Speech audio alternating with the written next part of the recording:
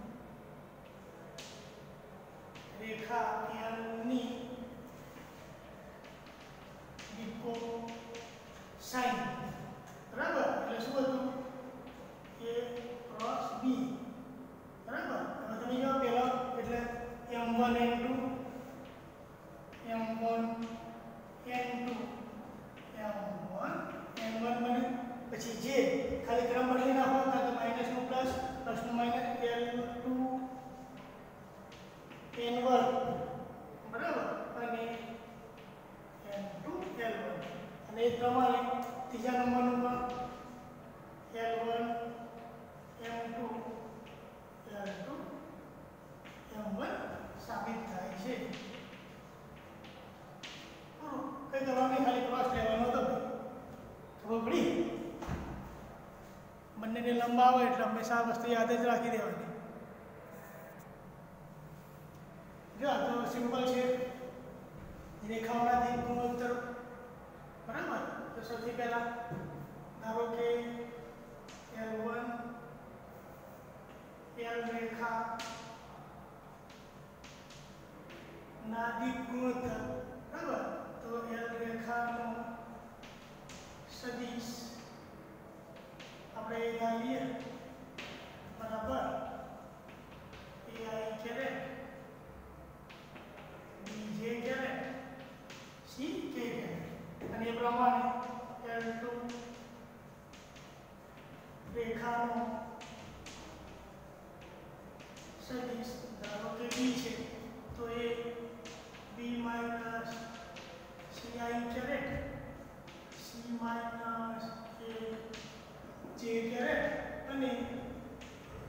A minus B હવે તમે ખૂણો તો ખૂણા માટે તમને ખબર જ શું છે cos theta is equal to a સદિશ ડોટ b સદિશ નીચે એનું માન તો પહેલો સદિશ એટલા આવીએ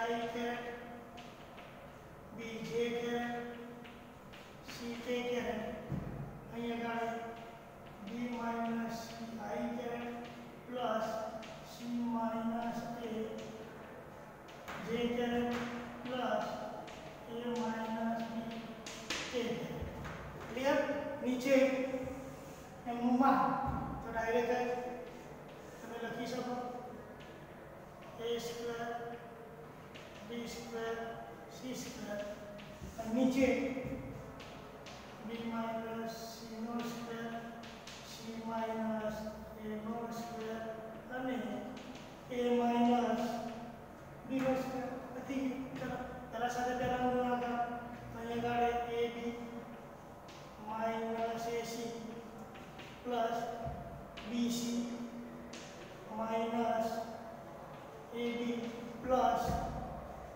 ac minus bc નીચે એનું એ જાતે લખી દઉં જો બધા ઉડી જાય ઇઝ ઇક્વલ ટુ ઝીરો નીચે એનું તે ઇઝ ઇક્વલ ટુ ઝીરો તો cos theta is equal to zero ક્યારે હોય કે થીટા બરાબર 90 અથવા તો પાઈ બાય 2 મતલબ કે બંને વચ્ચેના ખૂણાનું માપ પાઈ બાય 2 જેટલું હશે અને આમ તો ખરેખર જવાની જરૂર નથી પણ ગણાવી દીધા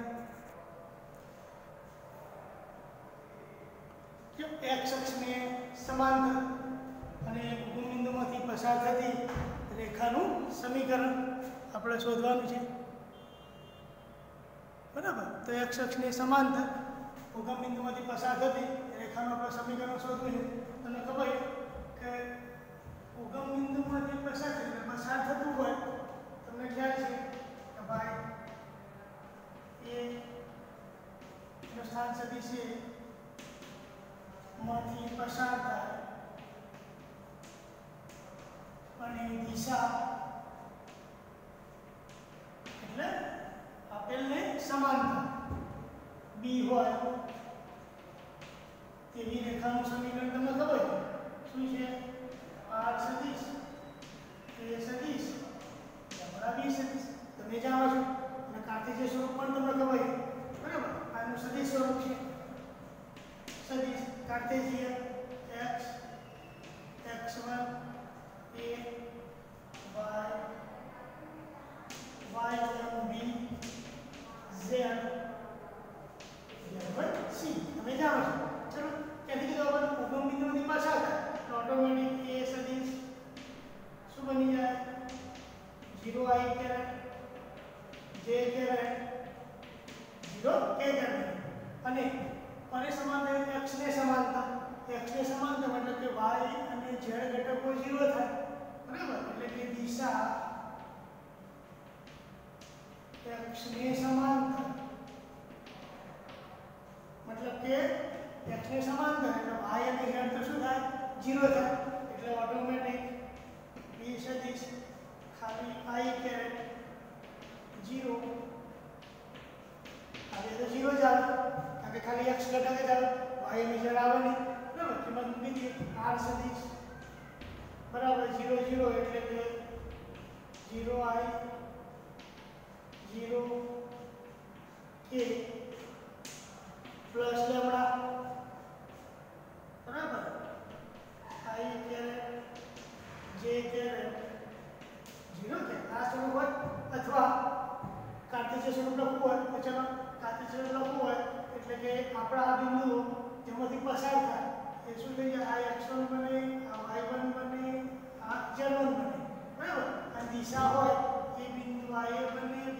किसी बने तो कीमत लिख लीजिए तो काटते किया स्वरूप एक्स ज़ीरो, छेद बाय एक ए वन की कीमत एक Y zero zero Z zero zero तो बराबर एक्सना छेद में एक वाईना छेद बाय ज़ीरो तो जेडना छेद कार्तीय स्वरूप में तो आ जाओ सदी स्वरूप में हो तो आ जाओ क्लियर तो आ सिंपल सी क्वेश्चन આરામથી તમે કરી શકો એમ છે જો એ બી સી ડી ના એમ અનુક્રમે આપણને આપેલા છે બરાબર તો એ બી અને સીડી વચ્ચેનો ખૂણો શોધો તો એ બી અને સીડી વચ્ચેનો ખૂણો એટલે શું થાય એ બી સદિશ એટલે એ બી અને સીડી વચ્ચેનો ખૂણો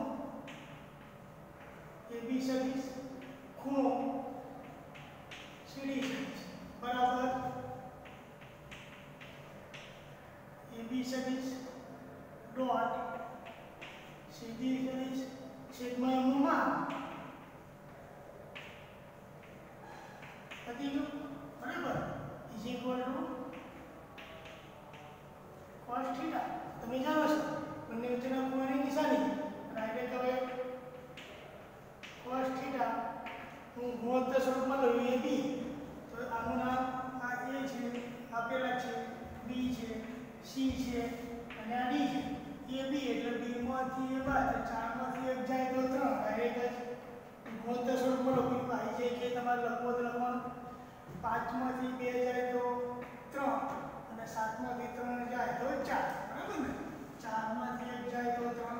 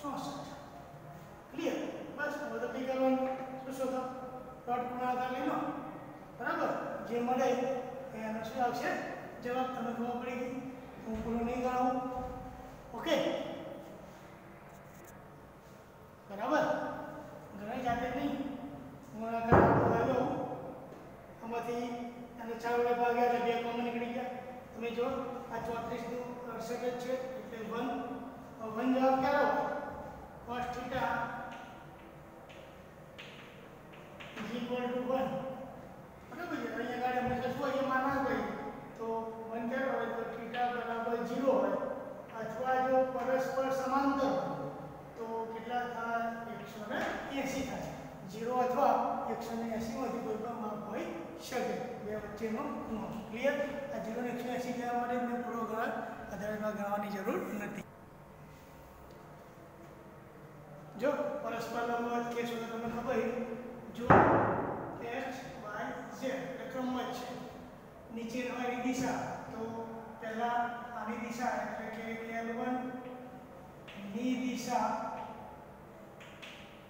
નીચેના પદો minus three I caret two के जे કેરેટ અને 2k કેરેટ ક્લિયર એ પ્રમાણે L2 દિશા લખાજો L2 ની દિશા બરાબર એનું જો ને x y ક્રમમાં છે લાઈન છે એટલે સીધું લઈ લેવાય એટલે કે 3k i कैरेट विज्ञान प्लस जे कैरेट विज्ञान પાંચ કે કેરેટ બરાબર પરસ્પર લંબ હોય એનો મતલબ શું થાય કે બંનેની દિશાઓ એટલે કે આ દિશા b1 સદિશ આ દિશા b2 સદિશ આપણે કીધું એ કે બંને સદિશ પરસ્પર લંબ છે એટલે l રેખા l2 લંબ હોવાથી બંનેનો ડોટ b1 સદિશ b2 સદિશ 0 બને પહેલા સાથે પહેલાનો ગુણાકાર minus 9k i j k જતા રહે ખાલી 2k હવે કે કન્ફ્યુઝ ના થતા આ કે કેરેટ છે ને આની અંદર પ્રશ્ન પૂછેલો એ માઈનસ 10 ઇઝ ઇક્વલ ટુ 0 તો minus 7k is equal two 10 બે બાદ જાય તો k બરાબર 10 ભાગ્યા 7 ઓકે તો આ એનો જવાબ સિમ્પલ પ્રશ્ન છે ખરેખર આ તો બધા ઘણા લોકો ગણિત પણ નાખ્યો છે આગળ આગળ જો એના પછી લખે એક બે ત્રણ માંથી પસાર થતી સમતલ ને લંબ રેખાનું સદિશ રેખાનું સમીકરણ આવે એટલે શું જોઈએ પસાર થતું પસાર થતું બિંદુ પર આપી દીધું એટલે કે અહીંયા આગળ એ સદિશ પસાર થતું એ બિંદુ એ એનું સ્થાન સદિશ એટલે આગળ I caret two J caret three K બરાબર? અને આપેલા સમતલને લંબ ચલો સમતલનો અભિલંબ તમને ખબર બરાબર? આ પ્રકારની પોઝિશન છે. આપેલું સમતલ છે આપણે આપેલું સમતલ. Is equal to I caret J caret I K caret no is equal to 0 તો સમતલનું સમીકરણ આ એનો અભિલંબ આ એનો અભિલંબ n કેરેટ તો તમને ખબર r કેરેટ n કેરેટ વત્તા b બરાબર 0 તો આ એટલે આને તમને ખબર પડી ગઈ આ કેરેટ થઈ ગયો તો n કેરેટ બરાબર i 2j આવી ગયો બરાબર હવે શું કીધું આ અભિલંબ અભિલંબ એટલે આપણે સમતલને કેવો હોય? તમને ખબર જ છે કે આ સમતલને લંબ હોય. ઓકે? આ એનો કેવો છે અભિલંબ સમતલનો અભિલંબ બરાબર? એ સમતલને લંબ જ હોય. લંબ. મતલબ કે જે માગેલ રેખા છે, એની દિશા પણ આ થઈ જાય. માટે રેખાની દિશા આપણે જે બી સદિશ લઈએ છીએ એ જ આપણા માટે n સદિશ થઈ જાય બરાબર એટલે આમાંથી પસાર થતું બિંદુ તો ના આપેલું તો માટે રેખાનું સમીકરણ રેખાનું સમીકરણ આ n is equal to a into ખબડી એટલે એ તો આપણને આપેલો છે. અહીંયા આગળ સદી સ્વરૂપ લખવાનું છે. તો અહીંયા આગળ આગની કિંમત મૂકવાની એટલે r ના r એટલે આનું વાત કરી હતી. એન છે એ જ આપણો બી છે. બરાબર છે? આ રેખાનું સમીકરણ સોરી પ્રશ્ન આપણને શું પૂછ્યો છે? ઓકે, રેખાનું હું સમીકરણ લખ્યું. રેખાનું સદી સ્વરૂપ આ બાર ઇઝ ઇક્વલ ટુ અહીંયા આગળ તમે ખબર છે. બા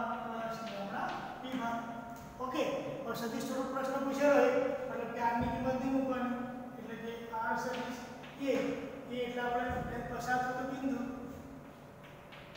i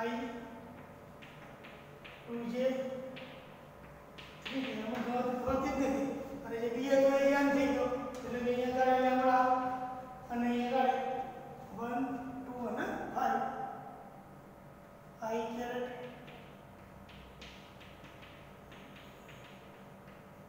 ગયું ક્વેશ્ચન ખાલી તમને સ્વરૂપ ખબર હોવી જોઈએ. એના વગર તમે સુધરવાનું નથી સૂત્રો તો ખબર હોવી જ જોઈએ. અધરવાઇઝ તમે ગણી શકો નથી, ગણતરી પણ નથી આવતી આમાં. પણ જો ખબર હોય તો તમે આગળ વધી શકો છો. જો એના જેવો બીજો ક્વેશ્ચન છે રેખાનું સમીકરણ સમતલનું સમીકરણ છે એ એબીસીમાંથી પસાર થતા. અને સમતલ તમને સદિશ સ્વરૂપમાં આપીએ, ને સમાંતર. Απ' έρθει ο Σάουκεντζή.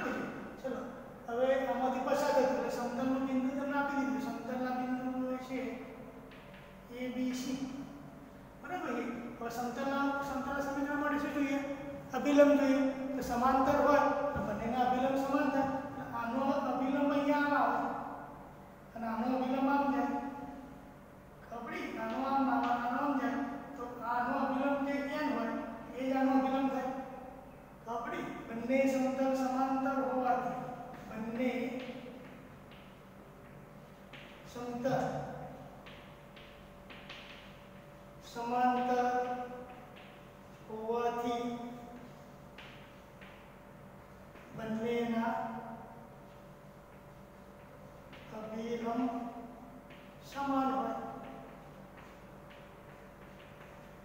મતલબ કે આપેલાનો અભિલંબ ને આનો અભિલંબ, બંને કેવા હોય સમાન? બરાબર? એટલે માગેલ સમતલનો અભિલંબ માટે માગેલ સમતલનો અભિલંબ, એ પણ એન જ થાય. એન એ આપણને આપેલો જ છે. I caret j caret k caret clear હવે જે અધિ પસાર પસાર થતું બિંદુ અને બિંદુ એટલે કે પસાર થતું બિંદુ એ આપણને આપેલો છે અહીંયા આગળ a i caret b j caret c k caret આપણને આપેલા છે હવે સમતલનું સમીકરણ સમતલનું સમીકરણ સદી સ્વરૂપ સદી સ્વરૂપ શું થવાનું માટે સમતલ શું છે આ n એ n r n n આ આનું જ n એમનું એમ i j k કે પસાર થતું a b c a i caret b j caret c k caret અને n ફરી i j k i j અને k એટલે તે એટલે લખવાનું હોય બરાબર તો બરાબર એ અહીંયા આગળ આ બાજુ તો કંઈ કરવાનું જ નથી જે સ્વરૂપમાં પ્રશ્ન આપ્યો હોય એ સ્વરૂપમાં આન્સર મૂકો કે કે તેના સાથે પેલું બીજા સાથે બીજું બીજા સાથે ત્રીજું એટલે કે a plus b plus c જે માગેલ સમતલ હશે સિમ્પલ સિમ્પલ છે બધા ક્વેશ્ચનો ફક્ત ઇન્ફોર્મેશન હોય તમારી પાસે તો તમે આરામથી એને સોલ્વ કરી શકો છો જુઓ એના પછીનો નવમો ક્વેશ્ચન રેખાઓ આર બે રેખા વચ્ચેનું અંતર ચાલો બે રેખા વચ્ચેનું અંતર એટલે પહેલાં નક્કી કરવાનું આપણે રેખાઓ સમાંતર છે છેદક છે બરાબર છે સમાંતર ડાયરેક્ટ સ્ટેપ પ્રમાણે આગળ વધવાનું ડાયરેક્ટ નહીં ગણવાનું યાદ રાખો વધારે જે ડબલ માટે ઓટોમેટિક અહીંયા પ્રેક્ટિસ થઈ જાય તમારે ડાયરેક્ટ ગણવાનું નથી અહીંયા આગળ બરાબર ચલો પહેલી રેખા માટે તમને ખબર છે પસાર relation is 6 i caret to j caret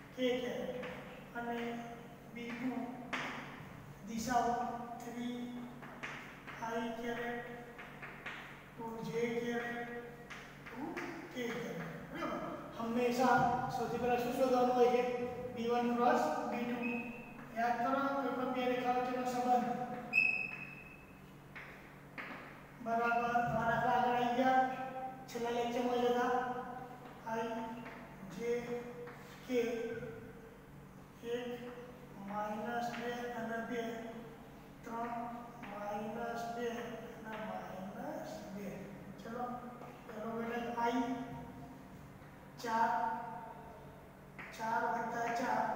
એટલે આઠ જે માટે માઇનસ બે અને માઇનસ છ, માઇનસ આઠ કે માટે માઇનસ બે વત્તા છ, માઇનસ બે ત્રણ દુ છ વત્તા છ એટલે ચાર.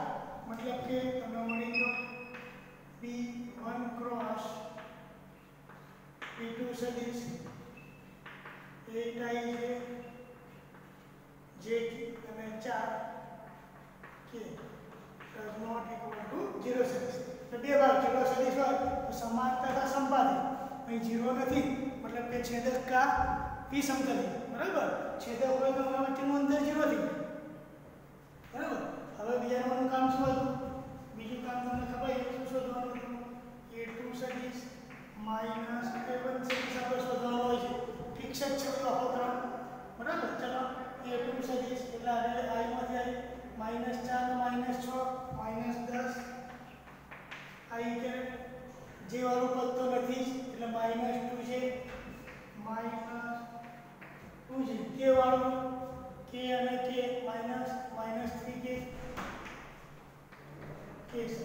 okay હવે Good.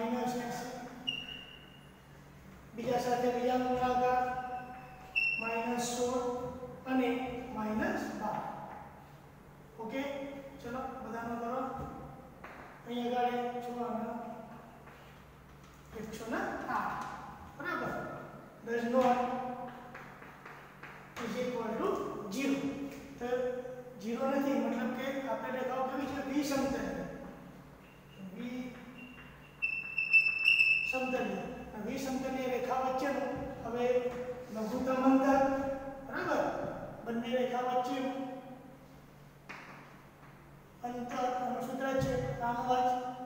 ફરીથી માનાંકની અંદર A two, A one dot, B one cross, B two એનો માનાંક અને આનો માન બી વન ક્રોસ, બી ટુનું માન.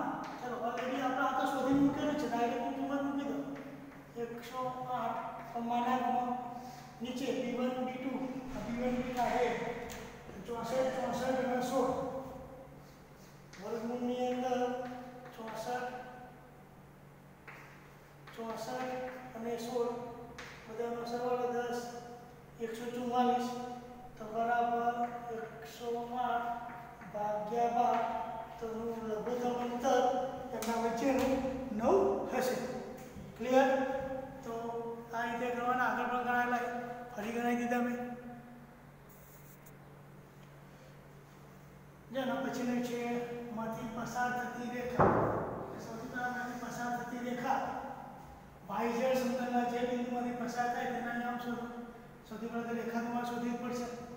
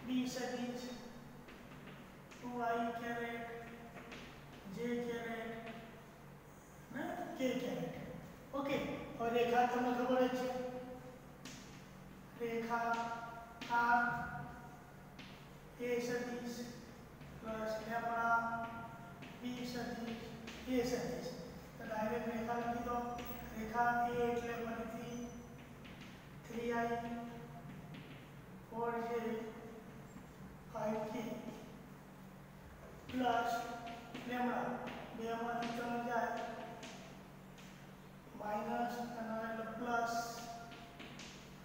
કે એટલે છ ઠીક છે બી માઇનસ છે બેમાંથી ત્રણ જાય એટલે માઇનસ છે માઇનસ ત્રણ અને પ્લસ એટલે એક થઈ ગયા, અને માઇનસ માઇનસ એટલે છ કે પતી ગયું. હવે આ રેખાનું સમીકરણ મળ્યું. બરાબર છે? હવે રેખાનું સમીકરણ એટલે રેખાનું પ્રત્યેક બિંદુ એ સમતલમાં હોય જ. એ રેખા પસાર થતી રેખા બધી વખતે રેખા જે બિંદુ પસાર થાય બિંદુને એમ છું. બરાબર? તો રેખાના બિંદુ બરાબર? રેખા કહેવાય. રેખાના બિંદુ. તો ફરીથી x y z is equal to પહેલા સાથે પહેલો ઘટક, એટલે કે 3 હું ડાયરેક્ટ લેવડા માઇનસ લેવડા આવી જગ્યાએ કાઢી નાખું છું. પહેલો ઘટક, બીજો ઘટક માઇનસ ચાર લેવડા ત્રીજો ઘટક માઇનસ પાંચ, સિક્સ લેવડા ક્લિયર તો આ બધા બિંદુ છે, એ ક્યાં છે? જે સમતલમાં છે. જે સમતલમાં છે.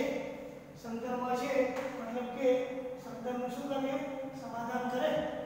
બરાબર? આ બધા બિંદુઓ બિંદુ મૂકી દેવાના. ચલો પહેલું માટે ટુ સમતલ x ની કિંમત આ y ની કિંમત